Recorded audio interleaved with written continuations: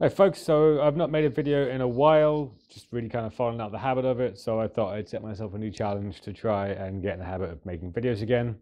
Um, I'm going to be seeing whether I can say anything interesting while I wait for my coffee to brew in the morning. So you're basically just going to get my opinion on different topics, uh, ranting about uh, things as, they come up to my head.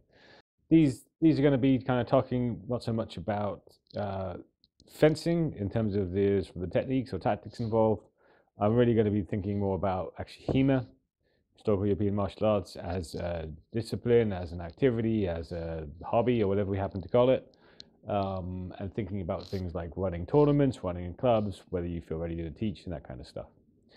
Um, for those that don't know, I've been doing HEMA now for nine years. I've been running a club for six of those nine years, or maybe even seven uh, teaching for most of that, um, primarily longsword, but other stuff as well, as well as running the Wessex League. So I've been involved in quite a lot of different aspects of uh, of HEMA, and well, you're basically you're going to just get my opinion. Hopefully, the fact that I've been involved in so many different parts of HEMA, uh, my opinion might matter for for something at least.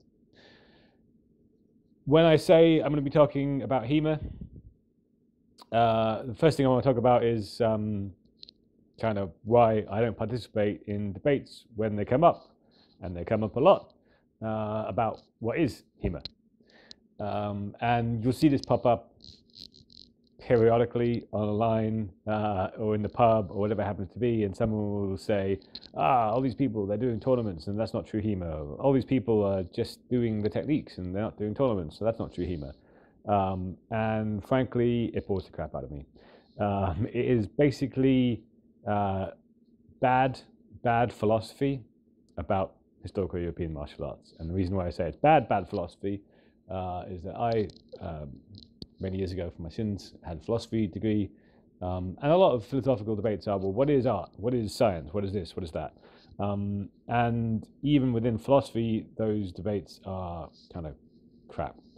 Uh, they tend to focus on things like, oh, what is the language, or what do we mean by this word, or what's our true intuitions about this kind of stuff.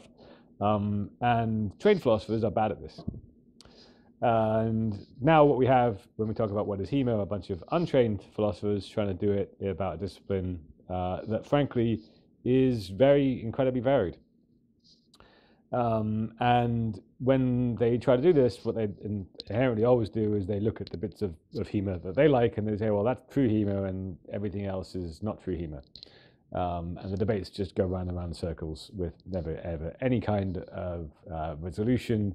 And it comes up again in six months' time with some new persons come along with an opinion uh, about what they think is true HEMA, uh, and we then get subject to yet another set of opinions, and everybody jumps in with the same ones that they've said all the time.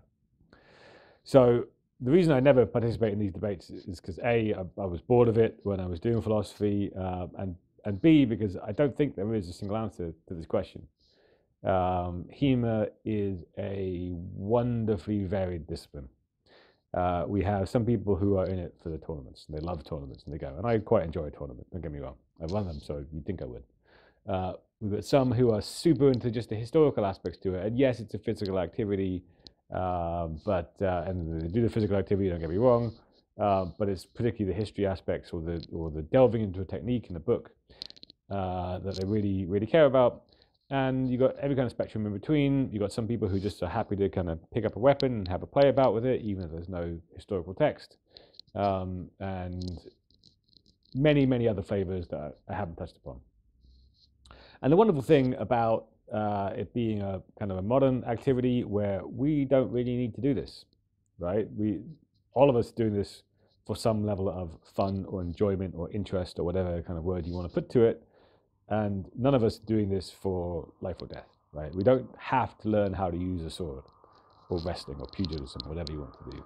It's my coffee almost done, so I need to wrap up. Um, and we, as a discipline, can cater to this wide variety of interest uh, or reason for being interested in it very, very easily.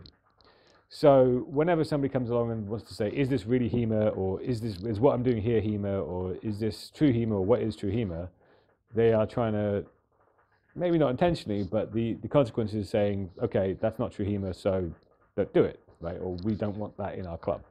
We don't want that in our broad sense of club, not our, our actual HEMA club. Um, and there's no point, right? Uh, there's no point in going around saying to people the fun that you're doing is wrong, or you're wrong for enjoying that. You shouldn't enjoy that. Um, we can easily um, interact with people who are doing something slightly different. So you know, if I'm if I, someone person's a very tournament focused fencer, but there's another person who's somewhat tournament focused but cares about the books, and the third person just cares about the books, they can have a productive chat about you know what's good, what works. Um, there might be some things where they can't see eye to eye, or they can't have a discussion about it, or they can't fence about it, and you know it's fine. Move on, talk to somebody else. Uh, at this point, last time I estimated, there were probably around 60,000 HEMA practitioners across the world. Post pandemic, that's exploded. I would be unsurprised to learn that it's well over 100,000 at this point. Can't see eye to eye with somebody? Go find one of the other 100,000. Or train someone new, get them to do it instead. Move on. Endless debates about what is HEMA, kind of pointless. Hope that was uh, an interesting rant. Uh, it definitely goes in the safety in the uh, category of rants, um, and I will try and do one of these every day when I make a coffee. Thanks.